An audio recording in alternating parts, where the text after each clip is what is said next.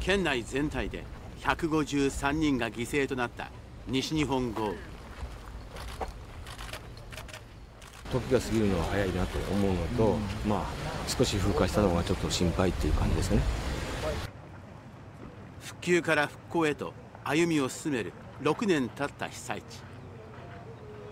4年経ちましたけどねあそこ入ってね、うん、だけどやっぱりねあの未だになれません。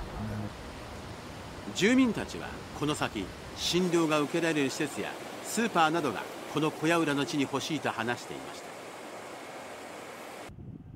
災害の風化が懸念される中当時避難所になった公民館では記憶を後世につなぐ紙芝居が上演されました。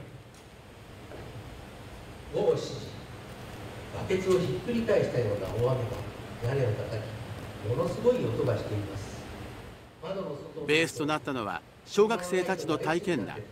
去年から今年にかけて作られたものです。その時に一番怖いんじゃなくてで強い心を持つことが大切だなって思いました。いろんな方にあのこれを見ていただきたい聞いていただきたいって思いはあるのでそういうお声があればあの言っていただければと思います。広島市安芸区で手を合わせた新川義弘さん。警察官だった息子直人さんは住民の避難誘導中に命を落としました。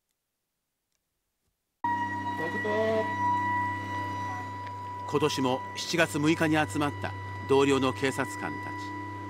たち。久しぶりにまた1年ぶりに会いに来たんで元気してます。っていうメッセージを込めて。思いを込めた風船を空に向けて放ちました。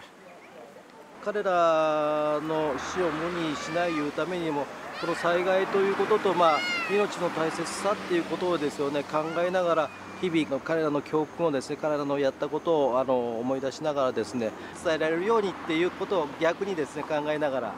一生懸命、えー、頑張っていっているような感じですかね。犠牲者に思いを寄せた12輪のひまわりがきれいに花を咲かせキャンドルが準備されています熊野町の被災地には犠牲者を悼み明かりが灯りました私の家の近くであの落石してきた石があったからそれがずっと忘れられないです。明かりにはこれから特に若い世代に命を守ることの重要性を考えてほしい。そんな思いも込められました。被災した時の思いというのは実際には被災をしたものでないとわからないかもしれませんけれども自分のこととしてその心構えだけは持っていてほしいなと。あの日から6年復興はまだ始まったばかりです。